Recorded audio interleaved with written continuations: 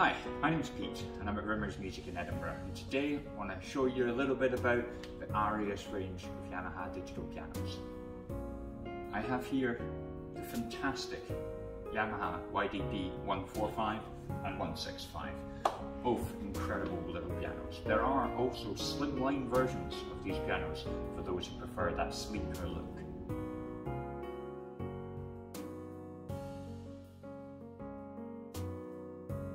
Firstly, let's have a chat about the upgrades from the previous models, the 144 and 164. Um, so the 145 and the 165 both benefit from an improved sound. Now that's due to Yamaha's new tone escapement construction. So the way it works is it brings the player even closer to the sound and it really does project the sound beautifully. Another big improvement is the new virtual resonance modeling Lite. Now this is the first time that a modelling technology like this has ever been used in Arius and it reproduces the rich sympathetic resonant tones created by the vibrations of the strings. So all corresponding with the individual player and it does mean that it really does pick up all the little nuances of your playing. So now we've had a little chat about the changes between the previous range and the current models, let's have a look at the differences between the 145 and the 165. So I'd like to split this up into three categories, touch, sound and features. So first of all let's talk about the touch or the action. The 145 here has a GHS action. Now that's graded hammer standard and it just means that it gets progressively lighter as you move up the keyboard in the same way that an acoustic piano does. Now the 165 here has GH3. Now again graded hammer but the 3 stands for three sensors effectively. There is that extra sensor so fast playing can be detected and reproduced perfectly. Now the feeling of the key tops is also really different between the two. While the 145 is plastic, the 165 is a synthetic ivory and ebony feeling key top so you don't slip about the keys. and It's absolutely fantastic to play. Both pianos have got four types of touch response so you can adjust how heavy or light the keys feel. They both have 192 note polyphony with key off samples, but the 165 also has that smooth release. Now that makes a difference, when, especially when you're playing legato music. That kind of brings us on nicely to the way these instruments sound. Both have got 10 voices, or instruments, from the CFX grand piano, which is Yamaha's 9 foot flagship grand, uh, to electric pianos, to harpsichords and strings. Um, let's focus on the important one, the piano.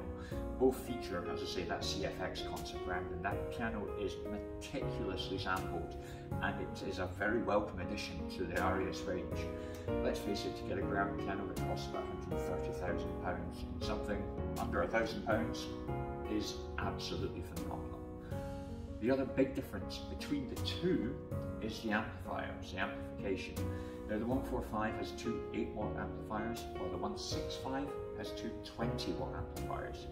Now this additional power enables us to really distinguish more clarity at each end of that piano spectrum. Both use stereophonic optimizer for the headphone sounds. Now that simulates the space between you and the instrument. Both feature IAC or Intelligent Acoustic Control. Now that you can tweak to adjust the overall volume now, no matter how dynamically you're playing, it effectively serves as a compressor, so giving us consistent volume whether you're at low volume or high volume. Both the 145 and 165 come with very similar features. Both have dual mode, where you can layer the voices on top of each other. They have duo mode, which is where the piano is split into two, with two identical ranges, great for duets. Uh, both feature metronomes, basic recording devices, master tuning, and both are compatible with the Yamaha's brilliant free Smart Pianist app. Now the connectivity is good, both feature USB to host, which effectively turns your YDP into a MIDI controller. And as standard, I suppose you can obviously wear headphones with both. So what's the verdict? Which one should we get? The 165 is a massive step up from that 145. The key action and feel is far superior, while the sound quality is also massively improved. And while the features are pretty much the same on both, the big differences in touch and sound make the YDP 165 well worthy of these extra pennies in this price tag. Now, I'd just like to give you a quick run through of each of the voices on each of the pianos so you can tell for yourself.